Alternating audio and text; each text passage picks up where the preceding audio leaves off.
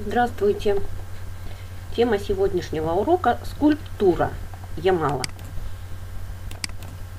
Скульптура – это искусство создания объемных художественных произведений путем резьбы, высекания, лепки или отливки, ковки, чеканки.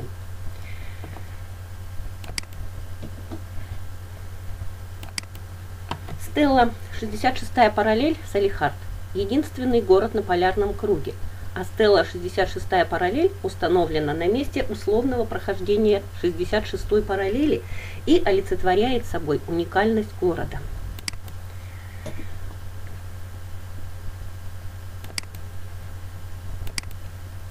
Скульптурная композиция «Мамонт».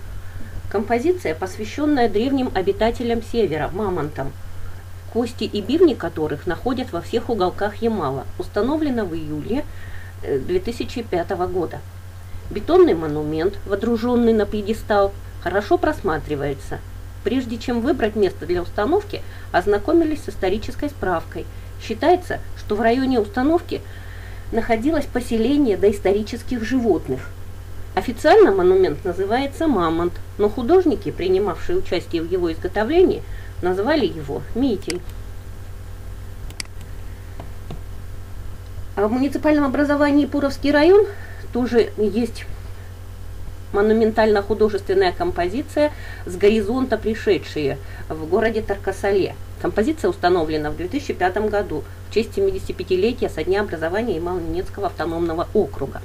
Как гласит легенда, на табличке некогда, спасаясь от невиданного половодья, семья из древнего рода шаманов семь раз по семь лун плыли по реке в непроглядном тумане, пока не коснулись высокого берега. Когда туман рассеялся, старший из братьев, окинув взглядом землю, пообщавшись с духами, сказал, «Жить будем здесь, благодатна и богата земля эта».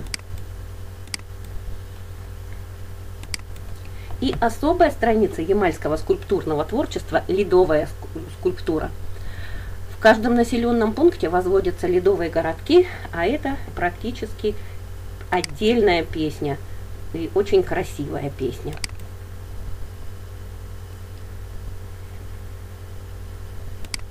Вы большие молодцы, поэтому домашнего задания сегодня уже не будет.